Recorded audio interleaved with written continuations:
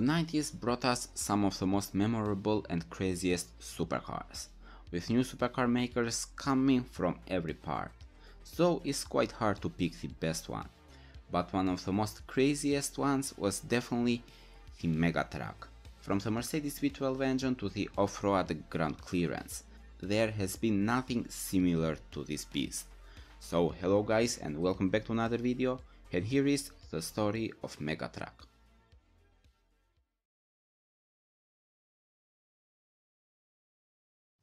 The history of Mega Track begins in 1975 with a manufacturer named Arolla. Arolla was specialized on manufacturing tricycles and microcars, which could be driven without a driver's license. The company managed to find some success but nothing big, so they went under in 1983, when they were taken over by Aixam. Aixam, similarly with Arolla, was specialized on microcars. Aixam was founded by George Blaine, which had made a fortune on the trading market. And in a short time, Aixam managed to find huge success, becoming one of the biggest players on the microcar market, not only in France but also in Europe. But despite the fact that they owned most of the market, not many people knew about Aixam. So George decided to build something that would really put them in the map. The first thing that they did was that they entered Andros Trophy in 1992. This is a racing championship similarly to a rallycross, just that everything happens in ice. But what Blaine wanted to do was to build his own supercar. Like I have mentioned before, new supercar companies were coming left and right in the, in the early 90s, so Aixam had to build something really special in order to stand out you couldn't just build another Ferrari or Lamborghini. George came up with the idea of building a supercar that could also go off-road.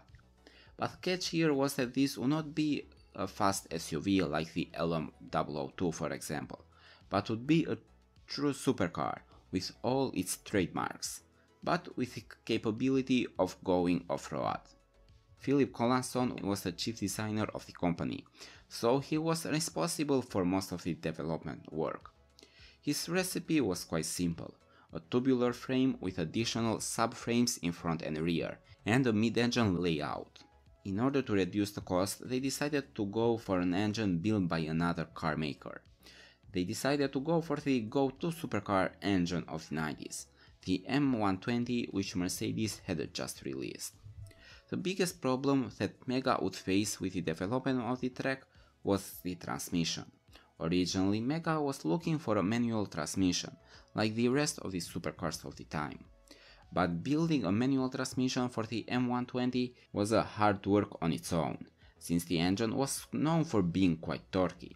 But the fact that the track was mid-engine and most importantly was 4-wheel drive made things way harder so they decided to go for a 4-speed automatic instead. The final stage was the design, which, let's be honest, is a bit generic. The car looks like many supercars of its period and has a very Gandini style. The car looks mostly similar with Venturi, which was another French supercar maker of the time. But there were two big differences that make the track look way cooler than Venturi. First, of course, was the ground clearance. The car came with air suspension, which raised and lowered the, the car depending on the driver's preferences, with 22 cm being the minimum and 30 cm being the maximum. But the size made the car look even more extreme. Intentionally or not, the track turned out to be mega huge. The mega track measured at 5 meters in length, 2.2 meters in width and 1.4 meters in height, while the wheelbase was at 3.1 meters. The track made even the XJ220 look small, which wasn't a small supercar at all. One of the advantages of this huge size was the interior. The track had 4 seats, which for a mid-engine supercar wasn't bad at all, but also looks like the car was very spacious. And finally, after all this work, the Mega Track made its debut at the 1992 Paris Motor Show, and of course the car was the star of the show. The spec sheet was very impressive. 390 horsepower at 5200 rpm, 420 pound-foot of torque at 3800 rpm, the top speed at 250 km per hour, and the acceleration time at 5.8 seconds. Not bad for a car that weighed 2.3 tons.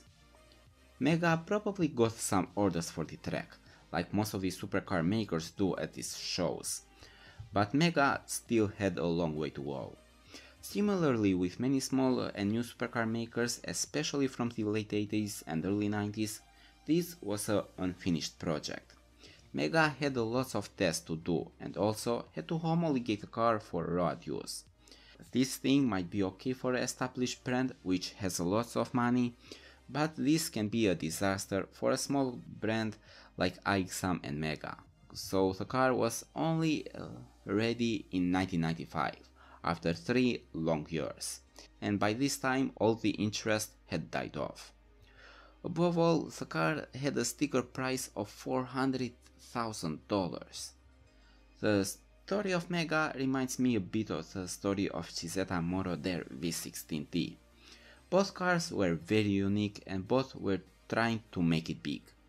But both cars made it into the market a long time after they were presented for the first time to the public. And both cars had a huge sticker price. And just to put things into perspective, in 1990 the price of the 25th anniversary Countach was $150,000. The price of the F40 $260,000. The price of the 959 $230,000 and the price of Cizeta $300,000. Nobody can say for sure how many mega tracks were built and for how long the car was in production. It's rumored that the car was in production from 1995 until 2000, and something between 5 or 11 cars were built. From what I have seen, looks like 6 or 7 cars were built. This will not be the last car for Mega, since later they also introduced the Monte Carlo, but this is a project which was started by MCA or Monte Carlo Automobile, so it's a story for another time. All these supercar makers have a similar story why they failed. The economy, the name, etc. But in the case of Mega, two are the biggest reasons. First is the price, which was just crazy. The second is then when the car was released everyone had forgotten about it. So guys, thank you for watching and see you next time.